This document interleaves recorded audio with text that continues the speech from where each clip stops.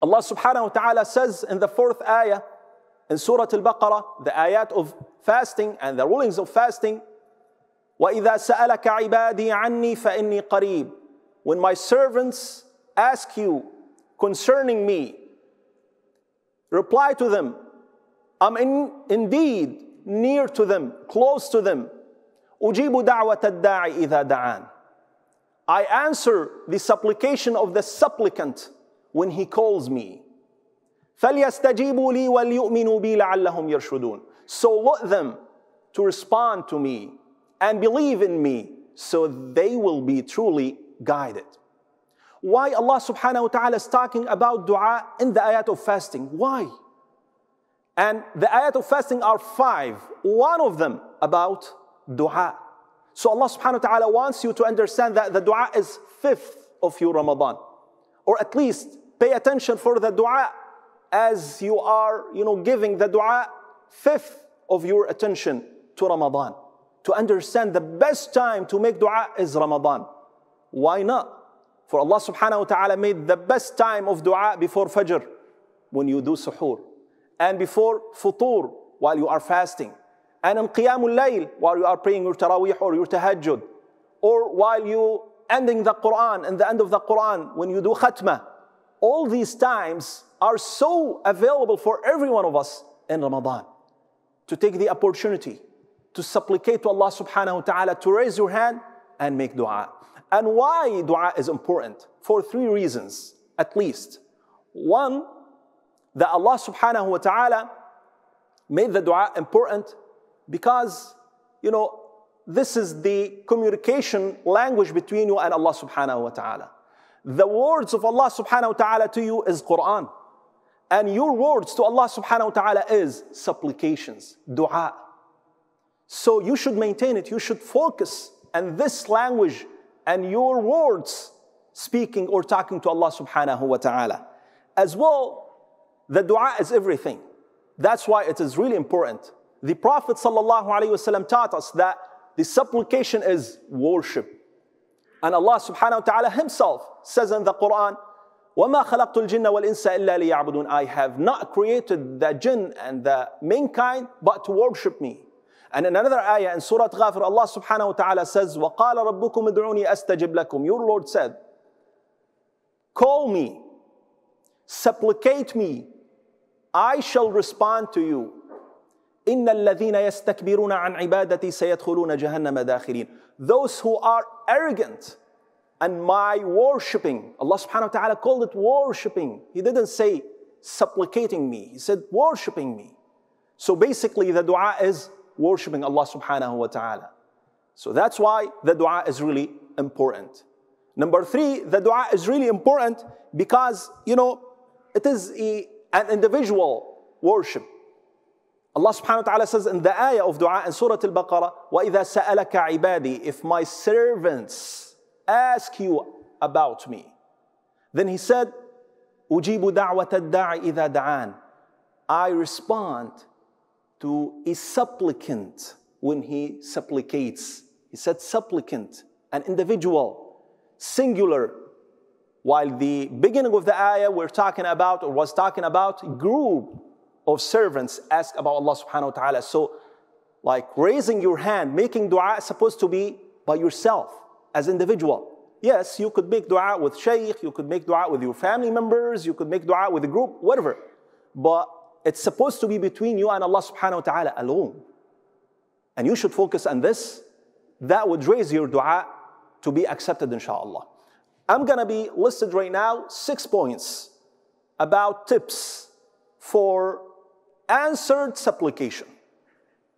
And you should maintain them and focus on them in this Ramadan. At least you could upgrade your communication skills, language between you and Allah subhanahu wa ta'ala. You could really upgrade your dua between you and Allah subhanahu wa ta'ala. Number one, praise Allah subhanahu wa ta'ala before you request from Him anything. Allah subhanahu wa ta'ala deserves all your praise. All praise is belong to Allah subhanahu wa ta'ala. So don't just say, oh Allah, I want this, I want that. No, praise Allah subhanahu wa ta'ala. And for an example, Yusuf alayhi salam. If you read the story of Yusuf alayhi salam in Surah Yusuf in the Quran, 13 pages, we're talking about his story until he mentioned his dua. And even with his dua, he said, My Lord, you have given me something of sovereignty and taught me of the explanation, the dreams, creator of heavens and earth. You are my protector in this life and in the hereafter. So, five statements praising Allah subhanahu wa ta'ala to request. Look at his request right now. Cause me to die a Muslim and join me with righteous. That's it. Five statements praising Allah subhanahu wa ta'ala, then two statements requesting from Allah subhanahu wa ta'ala. And you know what? If you just limit your dua just to praise Allah subhanahu wa ta'ala without requesting anything, Allah will answer you. Allah will fulfill your needs. You don't have to name it. Allah knows you already. Allah knows your needs. So just go back to Allah subhanahu wa ta'ala and have that connection with Him, and Allah subhanahu wa ta'ala will answer you. All what Allah subhanahu wa ta'ala wants you to do is to show your humbleness. You're needy to Allah subhanahu wa ta'ala and praising Allah subhanahu wa ta'ala. And this way, like Yusuf alayhi salam, would serve this point. Number two, the pray and the Prophet wasallam in the beginning of your dua and in the end of your dua. So begin your dua with send blessings and prayers and the Prophet and conclude your dua with send peace, blessings and prayers and the Prophet. Our scholars used to say that all the prayers and the Prophet are accepted. They will never be like uh, unaccepted or not accepted by Allah subhanahu wa ta'ala. Why? Because the Prophet himself taught us that if anyone would greet him, Allah subhanahu wa ta'ala will return his soul to him so he could reply to us in our greetings. So basically, our greetings to the Prophet are delivered to him because they are accepted. That's why the scholars used to say that if you start your supplication with praying and the Prophet ﷺ, which is accepted, and ending your dua with prayers or sending peace and blessings and the Prophet ﷺ, which is accepted, Allah subhanahu wa ta'ala is more generous to accept what is in between. The first or the beginning of your dua is accepted. The end is accepted. Do you think that Allah subhanahu wa ta'ala will leave you without answering what is between, in between of these two accepted du'as? No. Allah is more generous than this. Number three, when you make dua, make dua with good things, not evil things. The Prophet ﷺ promised and guaranteed that any Muslim would make a dua with no sinful act, making dua to do haram or something, or to cut off any relationship with rahim or with Muslims, Allah subhanahu wa ta'ala will answer him. This is guaranteed by the Prophet wasallam. So when you make dua, make dua for good things.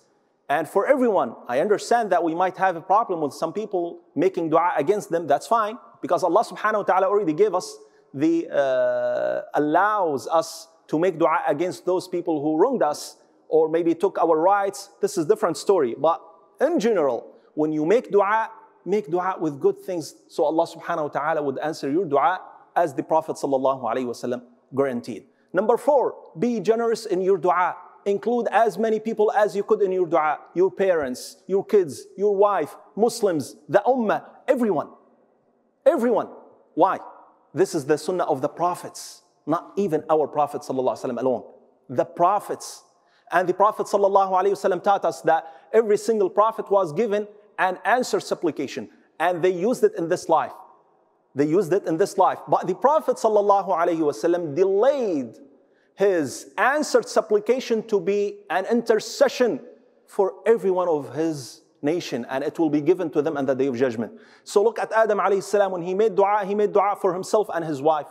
Nuh alayhi salam when he made dua in the end of his surah in the Quran, he made dua for himself and for the Muslims and for all the believers, men and women.